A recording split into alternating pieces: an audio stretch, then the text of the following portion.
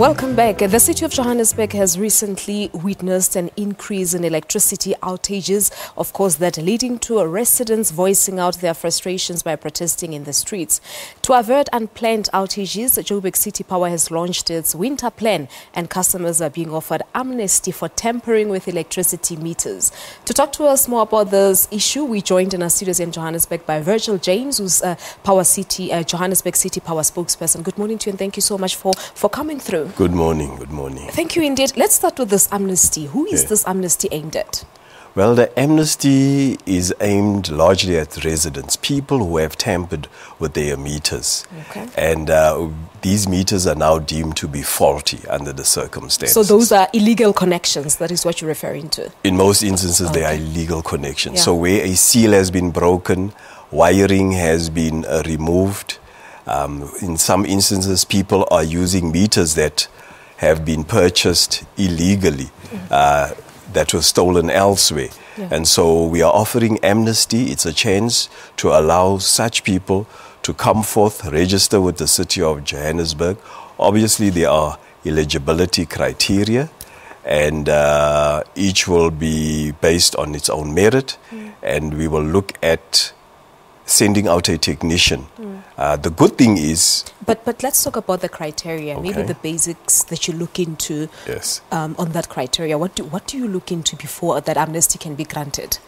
we actually look at what is the cause of the meter not functioning properly. Okay. uh, how long you've been without a meter, possibly, if you've made any attempts to report this with the City of Johannesburg or City Power. And uh, then uh, we take it from there. There's obviously a discussion. Yeah. But uh, so it's not a guarantee that everyone will be granted this amnesty. Definitely. You look into certain things. Now, uh, they need to register Yes. in order to be granted this amnesty. Yes. At your offices, I believe. That's right. All right. Now, let's talk about your winter plan. We, we, we know that uh, the city is very prone to outages, especially in winter time. What That's do you have? What's the plan? So our plan has been put together simply because we are aware, as you've correctly indicated, that we're prone to outages. And so we have more resources, material, more technicians, and uh, we've proactively looked at doing repairs and maintenance in areas that we know are usually prone to, to outages for whatever reason. Even in summer. Even in summer. Your areas like your our area, Roodepoort, your Lenasia, your Midrand, Yes, and others. yes. So you've already uh, done your maintenance We've for, for already, and we are continuing on maintenance. That is why we have proactively issued letters to residents where we will be doing such maintenance that is under planned outages, what we call planned outages. This usually takes place during the evening between 10 and 6 in the morning. And uh, we just make sure that the network is able to carry the load. All right. Now we know that, uh, um, Mr. James, that some residents have complained that um, they've lost their appliances due to this power outages. How, how do they go about? Is there perhaps a way to claim back uh, their money for their appliances that were destroyed during power outages? Maybe. At best, every resident or business should have insurance to cover such issues. When there is an overload and perhaps your appliance blows, uh, this then allows you to claim via your insurance. But it's not my fault as a resident. If it happens, it's the city's fault. Granted, If I don't have that insurance, what happens now? if you do not have the insurance, you are able to deal with City Power directly.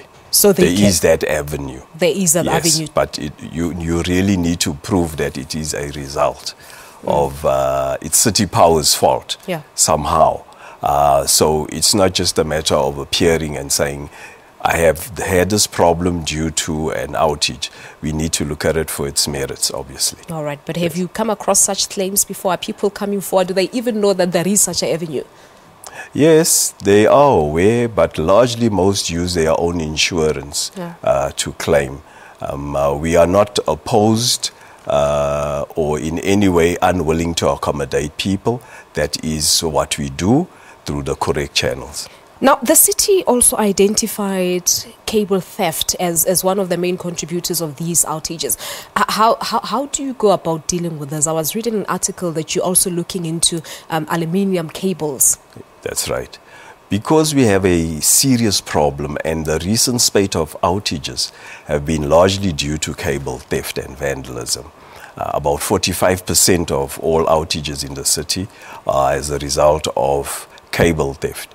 And so we have to put in measures in place with uh, security agencies, with uh, the South African Police Services, as well as the Metro Police to patrol certain hotspot areas and uh, just to try and maintain a visibility. But this does not deter criminals mm. from uh, stealing cables. Yeah. And one of the options we have is to replace stolen copper cables with aluminium cables. Yeah. This has no value to them, yeah. uh, but it's an expensive thing. It cannot be rolled out overnight. Mm. It's a long uh, process. It's a long process, yeah. but that is the way we are headed. All right. Now let's talk about the bill, um, the billing glitches that the mayor was even talking about uh, yesterday. That some people or some residents around uh, the city of Johannesburg have not received their bill um, for last month, even for this month. Some have, but it is incorrect. Um, there are glitches on that. How, how, how is this being dealt with? Especially from your side as City Power? It's a separate uh, issue. We are normally able to issue correct bills mm. uh, on time. However, as the mayor indicated, we believe that the system was tampered with yeah. and has caused this problem. So they are investigating. But uh, what happens in the meantime for those who have not received their invoices for this month? What they, happens? Some people are able to go onto the website mm. and uh, register.